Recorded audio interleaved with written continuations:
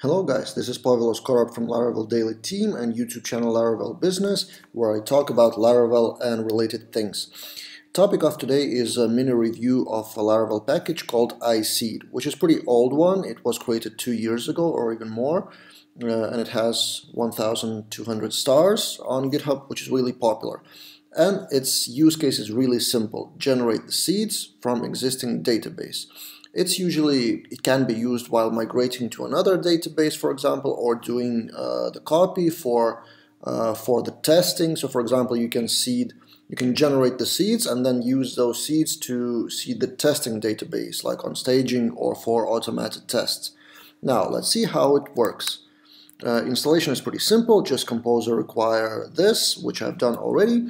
And for testing project, I have a small database here from another of my demo projects. So we have customers and purchases. There are 200 customers, just random faker generated, and there are 3,000 purchases for every customer. Every customer has 15 purchases, which is relatively small database, but still like 200 rows and 3,000 rows. We will test it out.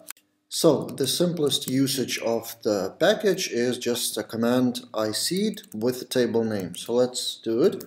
And actually let's see how much time it takes to generate the table. So iSeed and table customers with 200 records. Okay, it's around 20 seconds, which is quite a lot. And let's see what has it done actually. So we generated uh, customers table seeder with first line is deleting everything and then doing the array insert with db table. Not using the model actually customer but db table which is okay.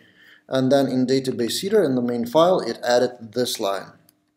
Now uh, second test is to generate for a few tables so for both of them so customers and purchases. Let's try it out. Customers purchases. Uh, if you want to do that you just uh, list the tables with comma separated. And probably it will uh, ask you if you want to override the existing and let's let's see how much time it will take now. Okay roughly same 20 seconds for customers and now purchases. Okay roughly 20 seconds as well. So it doesn't even matter actually probably uh, it doesn't depend on the amount of records in the table. It just takes roughly same amount of time to generate everything and let's see what we have in our database seeder. And we also have purchases seeder with 3000 records array. And let's try it out. Let's reseed the database. So currently we have those customers and purchases. And we generated new seeds. And let's try to launch db seed with that. Artisan db seed. Okay, and that's the first trouble with the package. The package is fine, but it doesn't take into account the existing relationships. So what I mean by that is customers table seeder, the first row is deleting everything from customer, which doesn't work because it has relationships in purchases. It has customer ID. So with that, you need to be careful.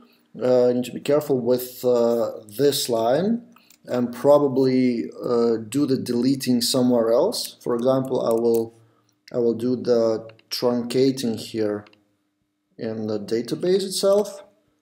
Uh, and actually truncating isn't enough. It actually, we need to delete all the records. So delete the rows. Okay, now the tables are empty and let's try again. Well, now it went perfect and really quick actually. Let's refresh.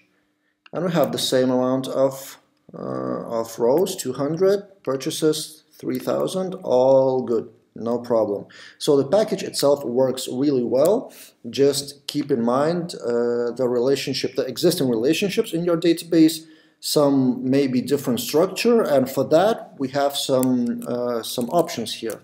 Uh, I will list the most important probably ones. For me as I think mm, this one so max amount of records. Maybe you don't want to seed everything. Maybe you want to see just the 10, for example, or I see the same, max 10. It will ask if you want to override. Yes, we do want to override. An interesting part is that it still takes 20 seconds or so, roughly. Doesn't matter if you're doing max 10 or doing full database, full table. It just takes as long as it takes. Okay, and the same one for purchases. And let's see if it generates 10 records for each of that tables. Okay, we're good. And let's open up Sublime, refresh, and we have 10 records for customers and 10 records for purchases, which is exactly what we wanted. So that is fine, that's working fine. Next option is to have excluded fields. So for example, if you don't want to, uh, that's the, probably the most often example, you don't want to seed IDs and created updated at. Let's try it out. Uh, customers, let's leave it with just customers. Uh, and then exclude ID created at updated at yes still same 20 seconds or so maybe 15 uh, and let's see what it generated.